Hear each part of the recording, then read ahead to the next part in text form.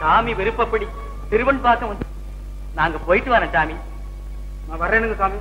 நல்லது. போய் பாருங்க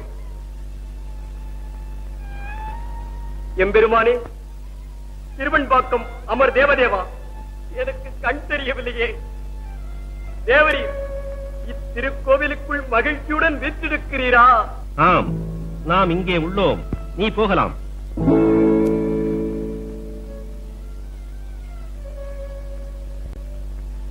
எல்லோரது பிழைகளையும் பொறுத்து ரட்சிக்கும் கருணாகர் என் பிழையை மன்னிக்க கூடாதா? கண்கட்டு தடுமாறும் நான் இறைவனை நோக்கி எம்பெருமானே இத்திருக்கோவிலுக்குள் மகிழ்ச்சியுடன் வீற்றிருக்கிறீரா? என்று கேட்டால் யாரோ பகைவரிடம் பதில் சொல்வது போல் நாம் இங்குதான் இருக்கிறோம். நீ போ என்று சொல்லுகிறானே. இதுதான் கருணையா? நல்லது. எம்பெருமானின் திருவருள் இங்கே இவ்வளவுதான் இருந்தது போதும். நல்லது.